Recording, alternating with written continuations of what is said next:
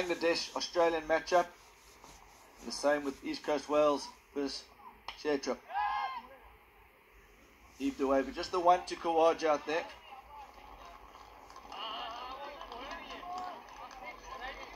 Growing their fan base around the world as this tournament goes on. We're here with Burhan Mahmood, leg spinner. He was superb yesterday afternoon.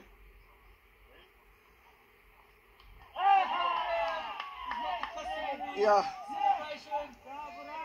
Where's he? Where do you think he's got that celebration? Can't do anything wrong with the ball.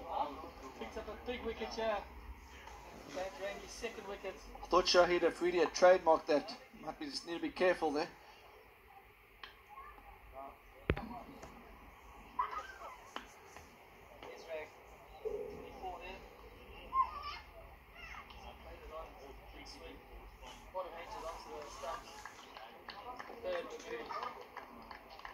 That wicket just balances up the game again, Ross. Turns to go- gold. Ross. Great stuff, Ross. So Ross um, is known for his cliches. I learned that one of him yesterday. Yeah.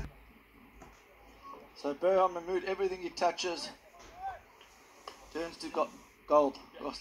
Great stuff, Ross. So Ross um, is known for his cliches. I learned that one of him yesterday. He, has, he does have the gold helmet when he bats, though, Ross.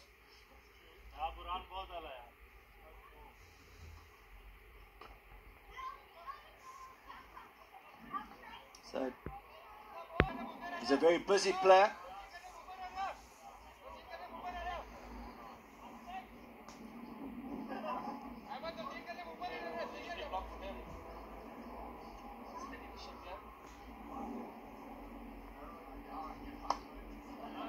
Great start from the mood. He will be difficult on this wicket, Ross. There's a bit of turn there. He doesn't miss his length that often.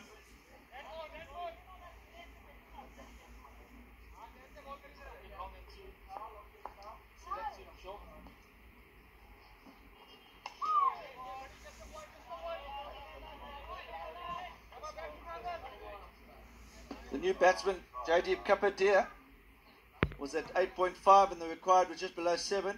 And they flipped around now. Big fielding, great fielding. So this is a good standard of cricket out here.